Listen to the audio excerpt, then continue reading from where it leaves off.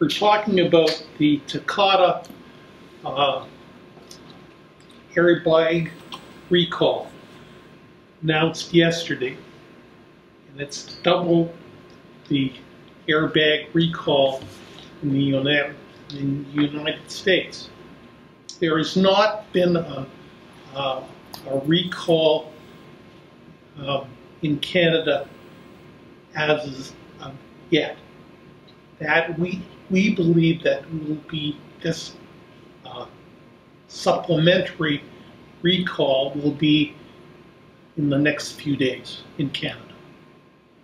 It's long and hard to do the recalls because there's not capacity in Ontario or in Canada or in the United States to, to replace all the airbags immediately.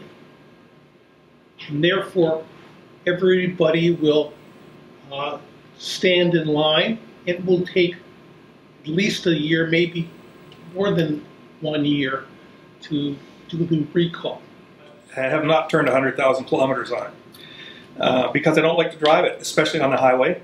Um, it's, um, it's, other than that, it's a great car, but um, I have no interest in, in being on a in a situation where it might deploy, um, and I so I I refuse to drive it on the highway. So there's a, a significant uh, impact on how I can use it.